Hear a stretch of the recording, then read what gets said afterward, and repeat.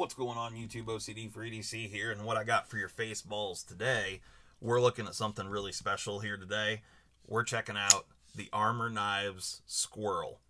Now this one here is the Squirrel 3 and it's got textured titanium with like a checkered uh, texture on it as well as a copper and 80 C, uh, CRV2 blade steel absolutely gorgeous, super unique knife. And then I've got another one. The other one that I have uh, is in this pouch right here. It is, uh, these are the pouches that the knives come in. I actually met the lady that makes these pouches at uh, Blade Show.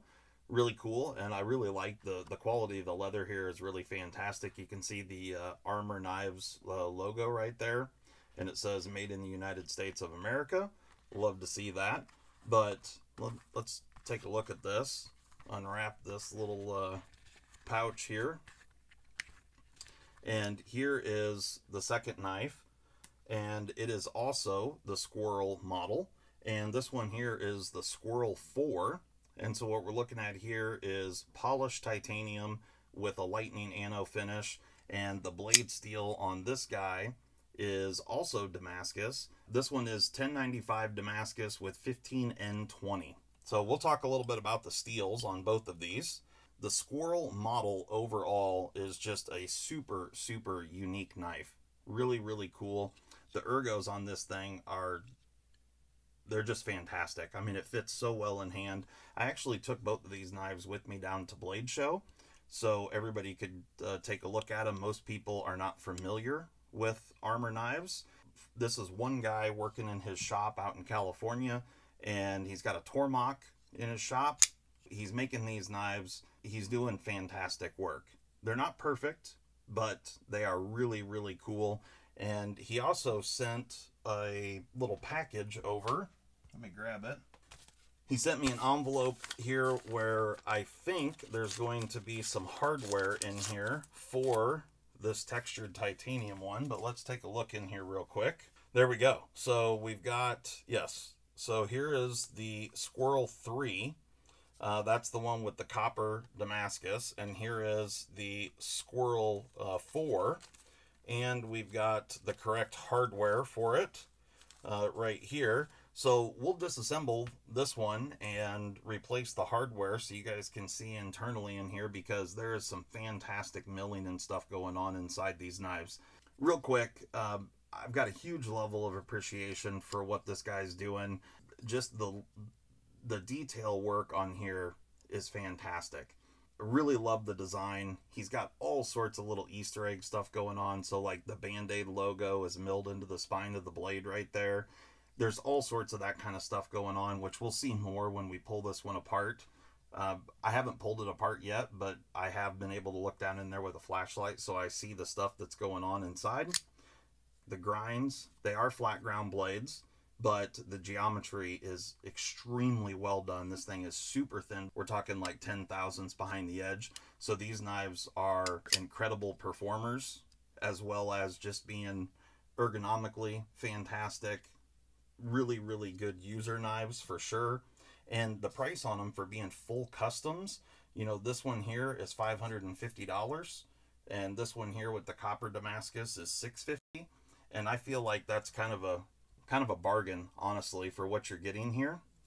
Like I said, there are a few issues, uh, um, but they're things that can be fixed easily, uh, and we'll get into those things. So, real quick on the steels, this guy here with the copper Damascus has a core that is 80 CRV2.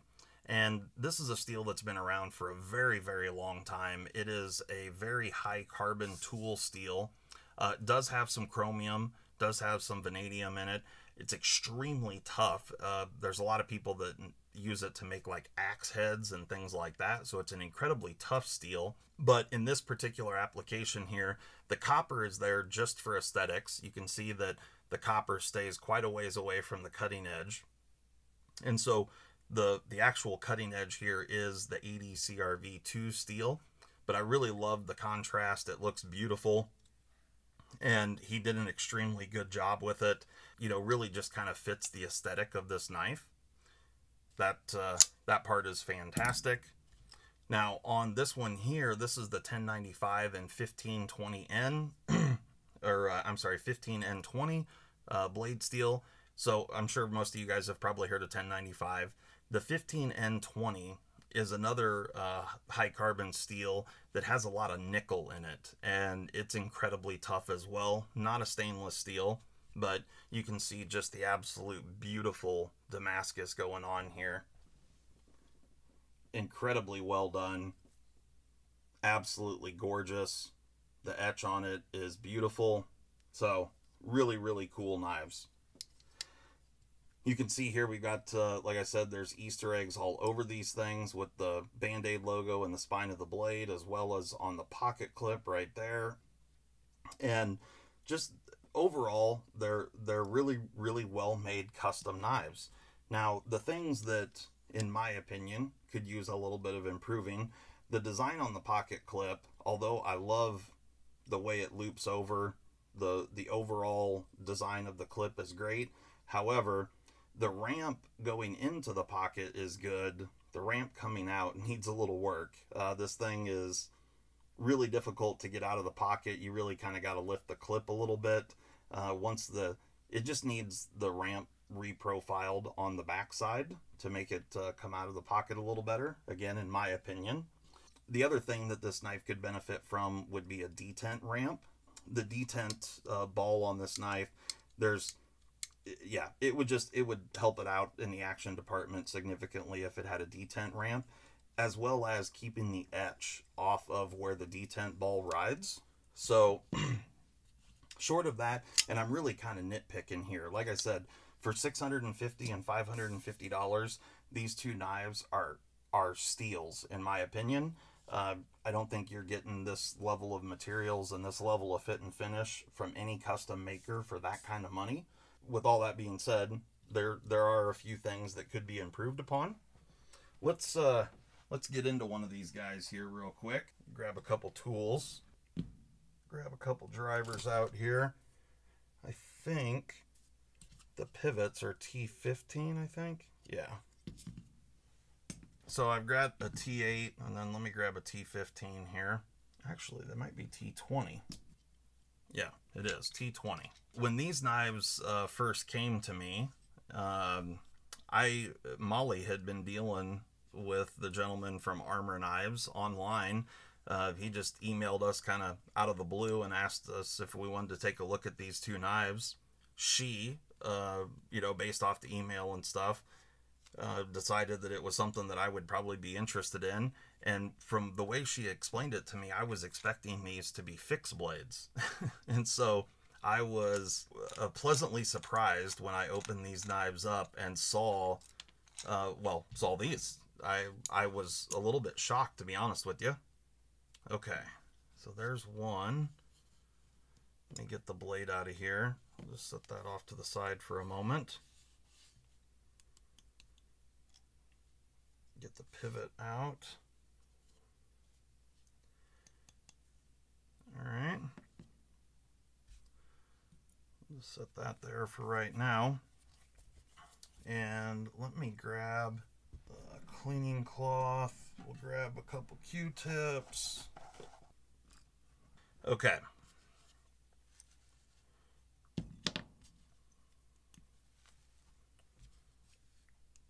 There is a hardened steel washer in there. And we've got an internal stop pin in the blade. So stop pin is in the scale or the the frame there. Okay. All right.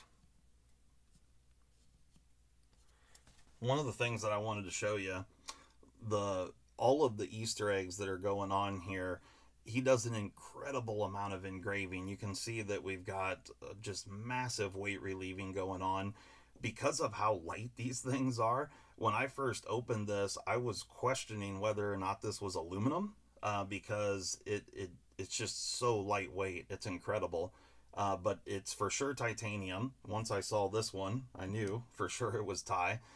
Um, but I'm just, it's so unbelievable how light these uh, these knives are. And so right here you can see, and it's going to be hard to show up on camera, but it's spelled out right here, and it says "Made in the United States of America." I'll try and hold that up close so you guys can see it, but the the lettering is so small that it's really really difficult to see it. Looks like there's some gunk and stuff down in there. I'm trying to get it cleaned up here.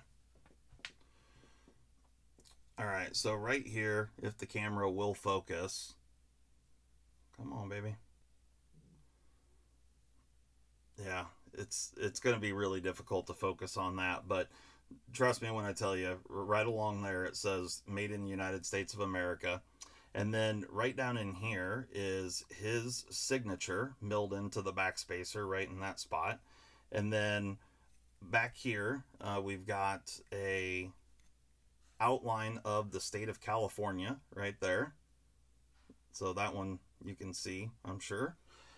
Okay, and then on the frame lock side, We've got the RMOR logo, the Band-Aid logo right there. And again, you can see all the weight relieving pockets going on. I mean, pretty much anywhere that he could, he weight relieved. And we've got some, you know, really, really nice milling going on. Hidden hardware on the pocket clip. Just absolutely beautiful. The uh, milling and checkering pattern on the titanium. The polish on the tie is absolutely gorgeous. We've got some contouring going on as well. And then you've got this really beautiful uh, little kind of picture framed mill line that runs all the way around the exterior of the knife or the perimeter of the knife. It's just really, really well done. And I'm you know, certainly can appreciate the level of craftsmanship that went into making these knives. They're absolutely gorgeous. The reshaping on the pocket clip, like I said, these things, it's really minor. It would improve the functionality, in my opinion. And like on this one right here, I'll show you. So you can see here that this area has been polished right here, but you can still feel um, the uh, as the detent ball rides over this Damascus, you can feel it, you know, kind of chattering through the highs and the lows there. And, you know, whether or not that area was etched uh, first or if it was polished after the fact, either way, you know, he tried to improve that. And really, the best way to improve that is to mill mill the uh, the detent ball flat, so you don't have, you know, if you look at that detent ball, you can see that it's completely rounded. And so that means the point of contact is just very, very small. And because it's so small, it can drop in those little valleys and the differences in height as this works around through the the uh, uh, uh, the travel arc. But if you machine the top of that off, that detent ball, and make it flat, well, now we've got a wider contact patch and then our uh, uh, psi or the pounds per square inch of surface area uh, is decreased and the surface tension is made a little bit less by spreading it out over greater area. However, if you mill too far, then you don't have enough contact inside the detent hole. So I mean, it's a it's a very fine line of getting that just perfect, and this comes down to you know the intricacies of knife making. You can see here you know how much that detent ball sticks out. Um, all that stuff matters. And i think i'm going to do a, a little like video series on the mechanics of pocket knives like all the different lock designs and different styles and stuff. Leave a comment down in the in the comment section. Let me know if that's something you guys would be interested in talking about. Like all the different details about how each different lock type and different mechanism operate and what makes them work you know, we're riding on steel bearings here. We've got steel cages, steel balls. That's fine. Um, the bearing pockets are super deep in the blades. But overall, for a custom knife, you know, by all accounts, a very, uh, very new knife maker, he's doing really fantastic work. I mean, this these knives are really, really well done. super impressed with them, and yeah, they're they're really nice. That's for damn sure. So let's see what we got here. The hardware that he sent. I was kind of expecting a different uh, pivot, but that's not what he sent over. He just sent body screws. Okay, so we just got. Okay, so these are just some polished titanium uh, body screws that are extremely well made. They look beautiful. So this one here has got blue hardware. Uh, it's anodized blue. And the body screws on this side are blue. Yeah, those are all blue. And then these are just plain tie. Okay, well, yeah, I don't know if he wanted these screws to go in this knife and replace the blue because the pivot is blue is the only reason I'm bringing that up.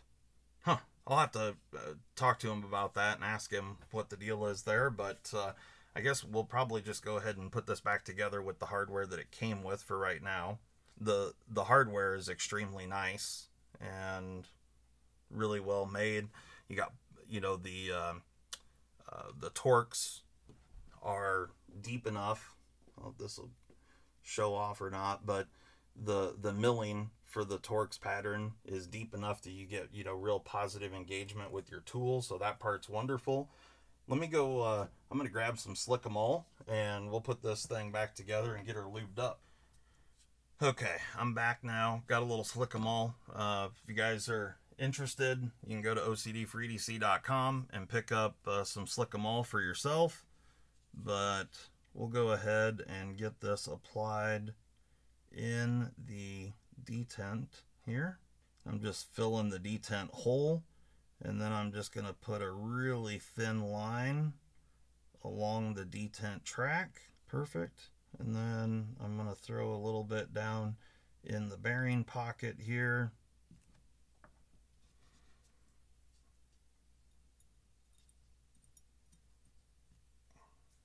Excellent. All right. Throw a little in the bearing pocket on this side. Excellent.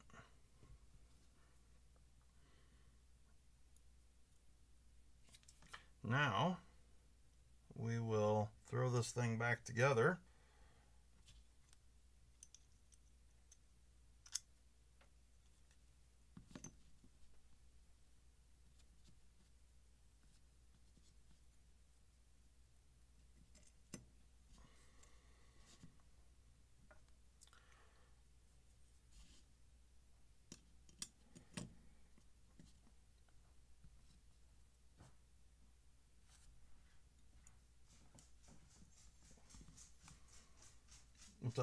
Yeah.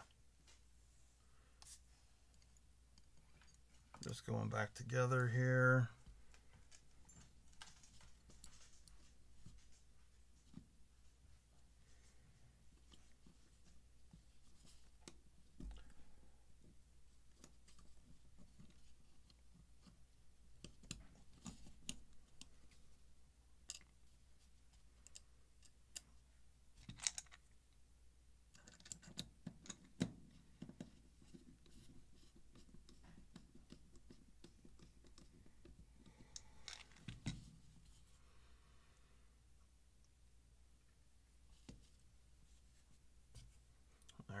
So the T8 body screws.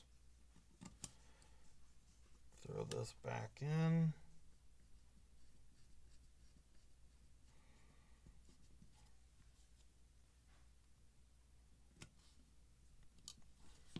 Perfect. All right.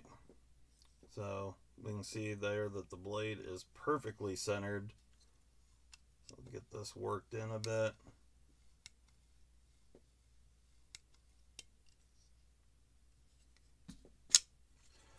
Man, I'll tell you, you know, everything on this is just so well executed. Uh, from the jimping that's on the blade uh, up here in this thumb ramp area, the the very very minimal flipper tab. The flipper tab works perfectly. The you know finger flicking is just a joy to use. You got this really nice forward choil. I mean that grip right there is just fantastic. And then with how good the blade grind is, uh, we just have just an absolute beautiful user knife.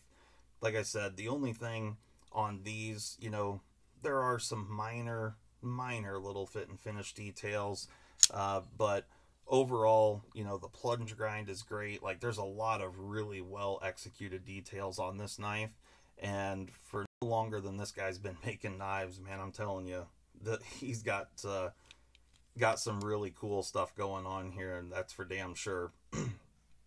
but the squirrel, uh, this one here, the squirrel three absolutely gorgeous. You can see it on his website, this exact one. Check it out. Uh, go to RMOR Knives, look at the Squirrel 3, and then this one here is the Squirrel 4.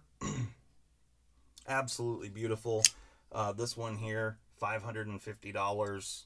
The textured tie with copper Damascus, 650 and they are well worth the price for sure. You can see here, you know, exact same design, just a different take. No textured titanium.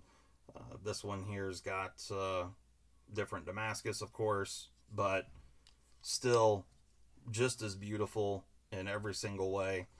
And if it were mine, I would certainly I would have to reshape the backside of the pocket clip a little bit. But again, that's kind of you know my personal opinion. Uh, but really, guys, I mean these things are fantastic. They really are. So I'm super pumped that he sent these over for me to take a look at. I'm really glad that I got to take them down to Blade Show to show them off because I think most everybody that, uh, well, I know everybody that put their hands on these knives were really impressed, especially for the price and especially for being a relatively new maker. It's fantastic. So, uh, Mr. RMOR Knives has got uh, some pictures up on his website, uh, and he's a guy near and dear to my heart. In his garage, he's got a Tormach CNC mill and uh, you know a, a two x seventy two grinder and a dirt bike. I'm down with all of those things for sure, and yeah, he's doing excellent work, and I can't wait to see what he comes out with uh, moving forward. But these knives are spectacular. If you're interested in either one of these knives, uh, throw a comment up. You can send me an email, info at ocd4edc.com. I, I will be sending these back uh, to RMOR Knives, but like I said, if, if you're interested in one of these, they're absolutely beautiful. I know they're both for sale.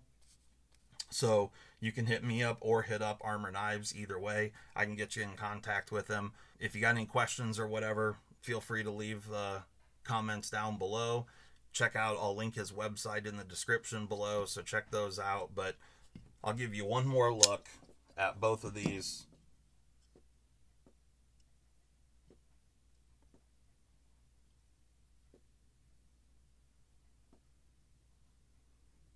absolutely gorgeous the copper damascus is so cool it's really unique and it's just a, a really cool visual thing and everybody uh, that sees this knife is just kind of blown away. So that thing is is something special, and as well as this one, you know, the the uh, etching on the Damascus is just visually it's it's really impressive. So, and then functionally it works so so well. So that's the thing that's so impressive here is that visually both of these knives are absolutely stunning, but functionally they're fantastic as well. So Anyway, guys, go and check these out. Go and show RMOR Knives some love. They're absolutely he's absolutely building some gorgeous stuff and and it's reasonable money. So that's really cool. Thanks so much for watching. Hope you enjoyed it. I'm out of here.